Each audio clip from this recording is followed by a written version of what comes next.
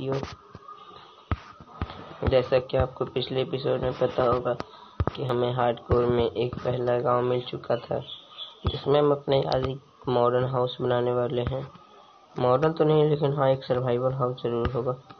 और हम एफ़ के माइनिंग करके आप देख सकते हैं कि मेरे पास आयरन के पूरी हैं और गोल्ड के भी और आयरन के सारे टूल्स भी हैं। तो पहले हम यहाँ से नीचे उतरते हैं। उसके बाद अपने सारे काम को कंटिन्यू करते हैं।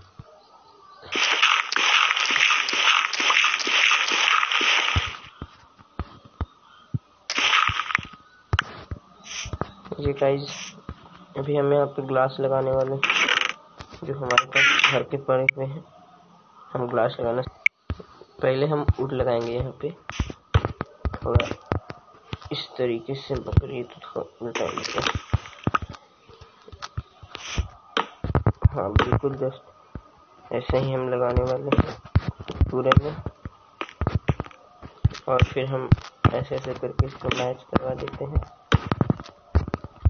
और यही सेम स्ट्रक्चर हम नीचे की तरफ़ भी बनाने वाले हैं। और हम तो हम इसमें भी क्लास लगाने वाले हैं।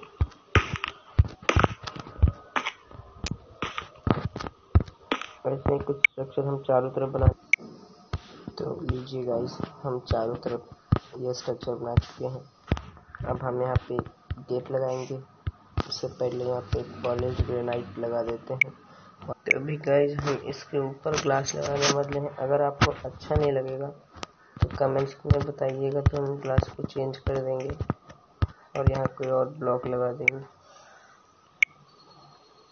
वैसे ना गाइस आपको पता है एक बात लावा को हम लोग एक बहुत बेस्ट फ्यूल की तरह इस्तेमाल कर सकते हैं हम आपको दिखाते हैं ऐसे मैं एक बकेट लावा तो यहाँ से ले गया था और एक बकेट और ले लेता हूँ Presenting your pocket-friendly store.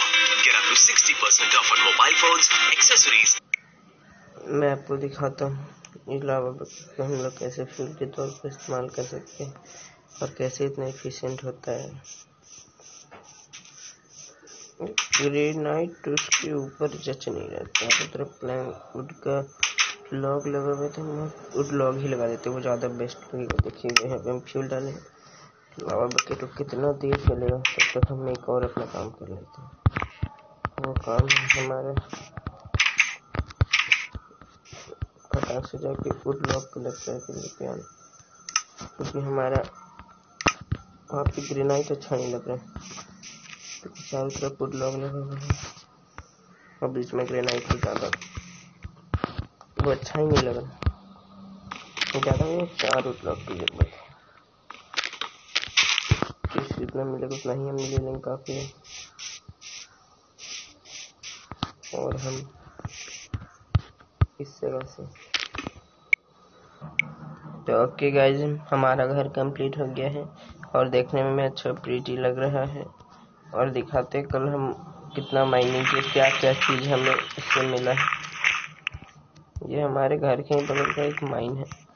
बहुत ज़्यादा ही गहरा माइन है, इसीलिए उसी में नोट ब्लॉक भी देखने में बहुत अच्छा लगता है।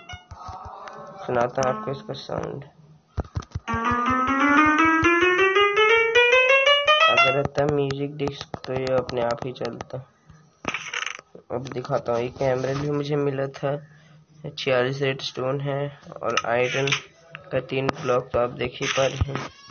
तो उम्मीद करते हैं आपको ये वीडियो पसंद आया होगा। वीडियो पसंद आया होगा तो लाइक कीजिएगा और चैनल को सब्सक्राइब कर लीजिएगा। अगर चैनल पे पहली बार आए होंगे तो